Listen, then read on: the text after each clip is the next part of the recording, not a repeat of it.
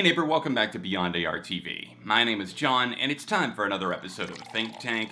This video is kind of a sequel to something that I talked about two years ago. I made a video called The Alternative Charts Are a Total Mess. And if they were a mess at that point, well, I guess they're totally off the deep end now because I am so confused by what I'm seeing, the labels that are and are not affixed to certain playlists and certain artists. It's a very bewildering time, for lack of a better word, for alternative music. One of the main things we're going to be talking about in this video is the further mainstreamification of the alternative space that includes rock and indie, everything like that. I find it very strange as to what's getting placements and playlists and also what's getting airplay now. It's a mix of veteran bands like the Foo Fighters and the Black Keys, along with somebody like Willow Smith, anything that has a Travis Barker feature on it, and then somebody like the TikTok star turned musician Jaden. I feel that it's very odd right now because, as we talked about in that other video, the dictionary definition of alternative music, ironically enough, is music that is outside of the regular mainstream, something that's meant to be a bit more challenging, more perceptive to listen to. Everyone right now seems to be in one of two camps that feel very extreme one way or the other, like there's no gray area in between, which there totally is.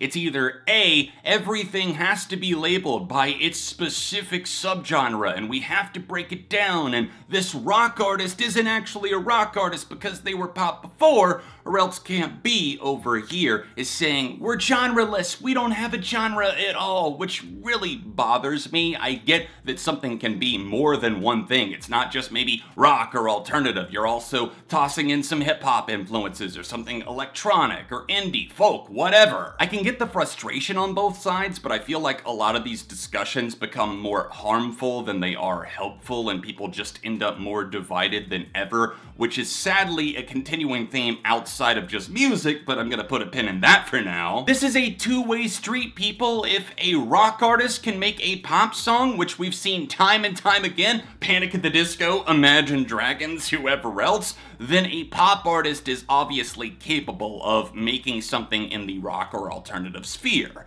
What I'm getting at here is that they can obviously make songs that fall under that umbrella. I'm just kind of questioning beyond that the authenticity of some of the stuff that is charting right now, especially considering a lot of these people are definitely from the mainstream. I was inspired to make this video after looking at the alternative charts on Billboard for July and just taking a scroll through here. You can see how confusing it gets. You've got everything from Billie Eilish to Imagine Dragons, which I struggle to always call alternative, even though they do definitely touch that sometimes, to established acts like the Foo Fighters or the Black Keys, so we're kinda getting thrown all over the place. You can call me a gatekeeper for that mentality, but what I'm trying to say is that there is a clear difference between both alternative, alternative rock, and alternative pop, these are all distinct qualities, and there's nothing inherently wrong with any of them. It's just very weird to see somebody throwing out a alternative rock playlist, and then there, at the top of it all, it's Billie Eilish, perhaps the most mainstream artist of the moment. Beyond the veterans, just scrolling through this chart, you can see that they also don't really exactly know what to play, so they're just digging up old stuff that's getting popular on TikTok, or maybe it's way late and they they never gave it attention in the first place, but oh, a lot of people used it in a TikTok, so now it's getting airplay. I'm talking about a band like Beach Bunny, who were absolutely amazing. They deserve the attention that they're getting, and I hope that you'll check them out if you've never listened to them.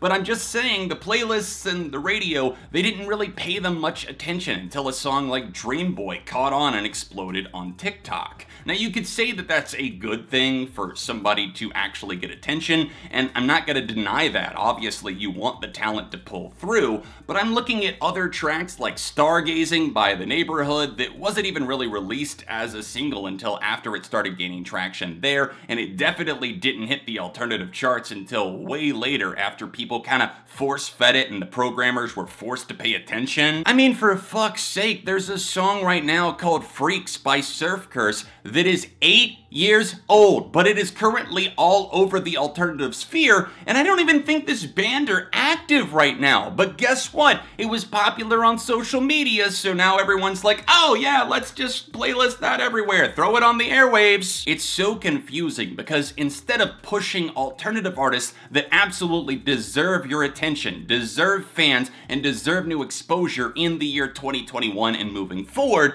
they rely on the old veterans, like I mentioned before, and for other people to do the work for them. And a lot of this is just rediscovering or else discovering for the first time stuff that didn't get attention years ago. Of course, this is not a bad thing, but I'm concerned that we're always looking back and checking the rear view for what we may have missed when a lot of the answers are right under our noses. So I want to take the time right now to recommend some alternative bands, some artists that I really think you should be listening to. Spanish love songs, Meet Me at the Altar, Cheekface, Kenny Hoopla, Nothing But Thieves, Sumo Cyco, Wolf Alice, Buddha Trixie, Creeper, Octavio the Dweeb, Shame, Pup, Magdalena Bay, Movements, beabadoobee, Rina Sawayama, there are so many options, people, and these are not just one way or the other, like hot or cold. They're definitely alternative. A lot of these are a lot more genre fluid, and I think that those fusions are awesome, but why are they not blowing up in the same vein as these random songs that are either older or maybe you're just pushing the same singles every time this established veteran act puts something out? That's gonna rise up to number one just because of the name. Every artist that I just listed is bubbling over with talent. They're just waiting to be discovered, and there is no real reason as to why they shouldn't be getting attention, both on the radio, in playlists, and just in general use